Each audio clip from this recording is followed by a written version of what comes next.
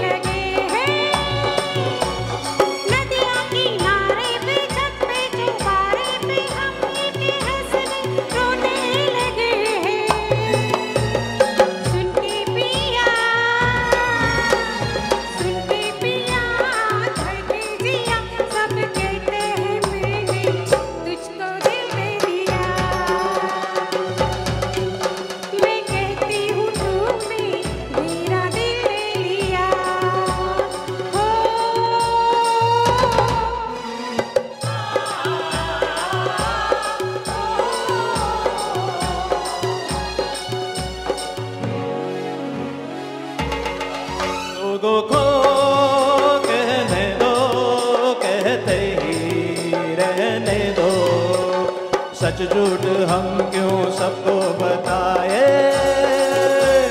मैं भी हूँ मस्ती में, तू भी है मस्ती में आ इस खुशी में हम नाचे गाए। किसको पता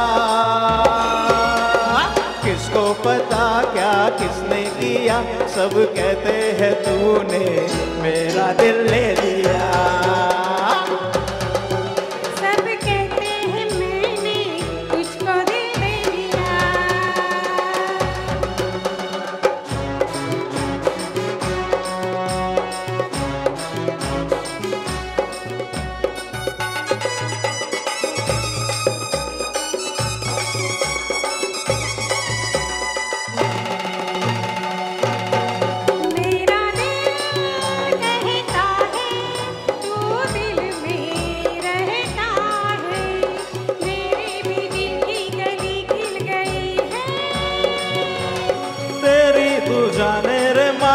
न माने रे मुझको मेरी मंजिल मिल